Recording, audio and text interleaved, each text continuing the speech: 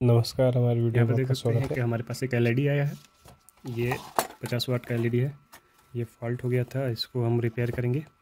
यहाँ पर हम इसको टेस्ट करेंगे। पहले तो ये बोल बोल रहे थे जो इसके ओनर है कि ये फॉल्ट है जल नहीं रहा और इसमें देखेंगे क्या फॉल्ट है। फिर टेस्ट लैम्प का उपयोग करेंगे। टेस्ट लैम्प पहले इसको चेक कर लेंगे टेस्ट लैम्प ओके है कि नहीं। टेस्ट लैम्प देखिए ग्लो कर रहा है। और यहाँ पर इसको टेस्ट लैम्प से लगाएँगे। देखिए यहाँ पर कोई कोई भी रिस्पॉन्स नहीं है। आइए इसको ओपन करते हैं। फर्स्टली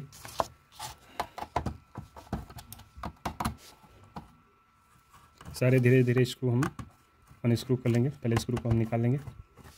और इसमें पीसीबी इसी एलईडी के प्रिंट सर्किट बोर्ड पर ही पीसीबी होता है। पीसीबी इसके अलग से नहीं ड्राइवर यूज़ होता है। देखिए इसका ये लेंस है, इसमें लेंस लगे हैं और ये प्रोटेक्टर कवर है।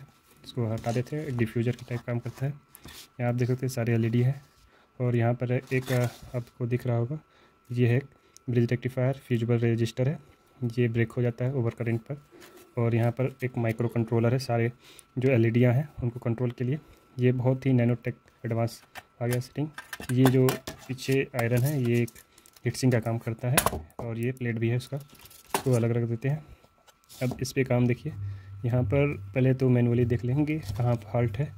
यहाँ पर देख सकते हैं पीसीबी में सारी जगह आपको अगर नहीं दिख रहा तब मल्टीमीटर से भी चेक करते हैं बट यहाँ पर कंडीशन में यहाँ पर फॉल्ट देख सकते हैं, ये और ये दोनों ब्रोकन हो गया है, जो कि पीसीबी सीरीज़ में लाइट लगी होती है। सीरीज़ में लाइट लगने से ही ये वर्क करता है। इसका वोल्टेज वन सेवेंटी या सेवेंटी मतलब साठ वोल्ट रहता है डीसी पर इसमें शॉक भी लग सकता है। तो इसको ध्यान देकर टेस्ट करिएगा। यहाँ पर हमको देख रहे हैं, ये दोनों ख़राब है। अब इसको मल्टीमीटर से भी एक बार चेक करके कंफर्म कर ले। मल्टीमीटर को कॉन्टीन्यूटी मोड में लगा दें। फिर इसके बाद यहाँ पर बीप ऑन कर लेंगे मल्टीमीटर को देखिए बीप दे रहा है। अब इसको हम टेस्ट कर लेंगे। कोई भी एलईडी पहले चेक कर लीजिएगा। किसी भी एलईडी में देखिए। अब ये एलईडी ज़्यादा वाट की हैं, इसलिए ये ग्लो नहीं करेंगे। मल्टीमीटर में कम वाट की एलईडी ग्लो कर लेती है। अब जो शॉर्ट भी है, वो भी नहीं करेगा। इसका टेस्ट करने का एक ही तरीका है। आपको इसको सीरीज़ में पहले तो लगा लेना होगा लैम्प को। एलईडी को सीरीज़ में एलईडी को लगा लें। फिर इसको एम्पियर मोड में डाल सकते हैं आप। यहाँ पर टेन एम्पियर मोड में डालिए और टेन एम्पियर पर सेट कर दीजिए। यहाँ पर डीसी में सेट करिए आईसी में कोई दिक्कत नहीं। अब यहाँ पर जो आ, जो हमारी पीसीबी में एलईडी जो ख़राब है पहले इसको टेस्ट कर लेंगे। देखिए ये दोनों पैलर में है। पैलर किसी को एक भी अगर ये एक भी कनेक्ट होगा तो जलेगा। अगर पीसीबी में कंट्रोलर से फॉल्ट होगा तो कंट्रोलर आपको इसको चेंज ही कर देना है, क्योंकि ये माइक्रो कंट्रोलर आईसी होते हैं, ये जल्दी मार्केट में नहीं मिलता। अगर ब्रिज रेक्टिफायर है तो उसको आप रिपेयर कर सकते हैं फ्यूजबल रजिस्टर भी आप रिपेयर कर सकते हैं, या नया डाल सकते हैं। ये रिपेयर नहीं होता, नया डालेगा। यहाँ पर भी ये भी नया डालेगा, क्योंकि आई सी एस कंपोनेंट है। तो इसके लिए यहाँ पर हमको टेस्ट करना होगा। देखिए टेस्ट करेंगे। देखिए, जल नहीं रहा है। जल नहीं रहा है तो इसका मतलब हमारा सही से लगा नहीं है, या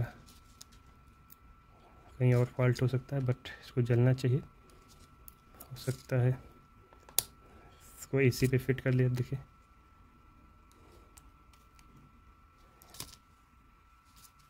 ये जो जल नहीं रहा, ये अब इसी पर रहना चाहिए, कोई दिक्कत नहीं। आखिर हमारा ब्रोकन हो गया ये बार ये देख सकते हैं, इससे मल्टीमीटर निकल गया है। कोई प्रॉब्लम नहीं, इसको हम पहले तो इसका हम इंसुलेशन हटा देंगे और अब टेस्ट करेंगे। ये देख सकते हैं, ये ग्लो हो गया। और वहाँ पर एम्पियर भी दिखा रहा है, कितना एम्पियर ले रहा है। ये ब्रोकन होने की वजह से ये जल नहीं रहा था। अब इसको हम पहले इसको सही कर लें। ये हमारा ओके हो गया, बन गया है। इसको डीसी पे ही लगा के माइनस प्लस यहाँ पर देखिएगा कितना ये एम्पियर बताएगा। ये जो है 1.1 एम्पियर ले रहा है और पीसीबी पूरी ओके है ग्लो कर रही है। वही दो जो कंपोनेंट है सॉरी एलईडी है, वो हमारा एलईडी दोनों ख़राब है। उसके लिए हमको अब ये दोनों जो आपके एलईडी बर्न हो गए हैं उन एलईडीओ को लगाने के लिए। उन एलईडीओ को लगाने के लिए यहाँ पर देखिए दो प्रिंट है। ये आपके दोनों कॉपर के हैं। ये दिख नहीं रहा कि इस पर पेस्ट एक कोटिंग किया गया है।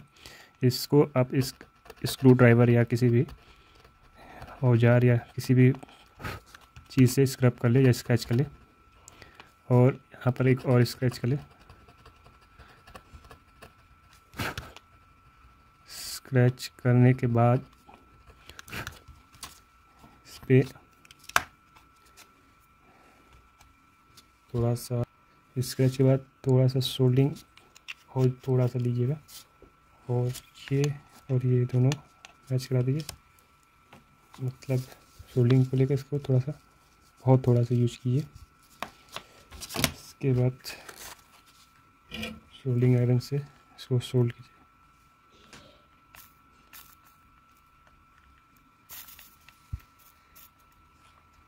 सोल्ड हो जाएगा।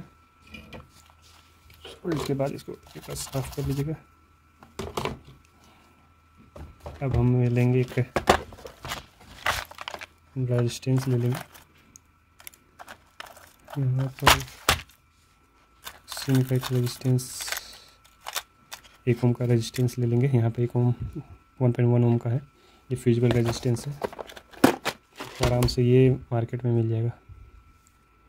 क्या होता है, बहुत लोग जंफर कर देते हैं, पर जम्फर से बढ़िया एक रजिस्टर लगा दीजिए, जो कि एलईडी का रजिस्टेंस थोड़ा बहुत इसमें भी इंक्लूड हो जाए और सभी एलईडीयों पर बराबर से लोड पड़े। इसके लिए हम इसको लगा देंगे।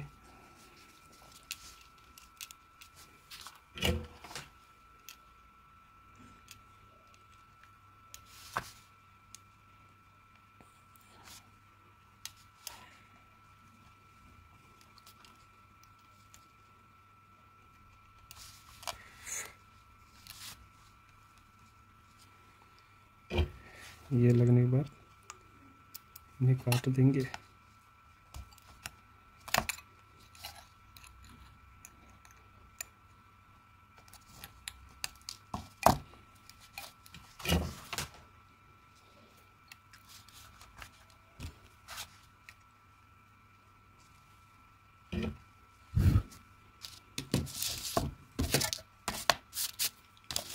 अब इसे टेस्ट करेंगे टेस्ट लैम्प से।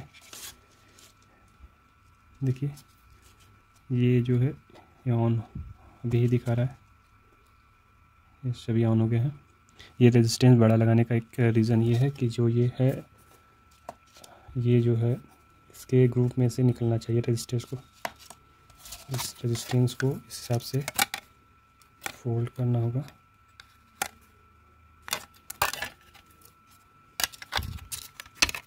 इसमें आराम से फिट हो जाए यहाँ पे देख सकते हैं। रजिस्टर फिट हो गया यहाँ पर। प्रॉपरली लग गया। इसको अब इस पर फिट कर कर कंप्लीट दिखाते हैं। यहाँ पर कंप्लीट हो गया है। अब एक बार टेस्ट टाइम से इसको चेक कर लेते हैं। जो हमारा एलईडी है, जो कि एलईडी में क्या होता है कि ये एलईडी आपस में ब्रोकन हो जाने की वजह से, ये जल जाने की वजह से उसको डायरेक्ट जंपर कर देने पर क्या होता है पीसीबी सेम वोल्टेज अप्लाई करता है और जो सभी एल हैं उसमें से जो लोड है, वो लोड सभी एल पर बढ़ जाती हैं। और इस बढ़ने की वजह से और भी एल जल जाती हैं, जिसके कारण आप एक जंपर की जगह इसके वाटेज को पता कर कर रजिस्टर लगा दें। वैसे तो इसका वाटेज लमसम पचास ओम का रजिस्टर लगना चाहिए। बट ये क्या होता है कि इसमें फालतू का आपका जो एनर्जी है लॉस होगा। इसलिए फ्यूजिबल रजिस्टर लगा के आसानी से मार्केट में मिलता है। उसको लगा के आप यूज़ कर सकते हैं।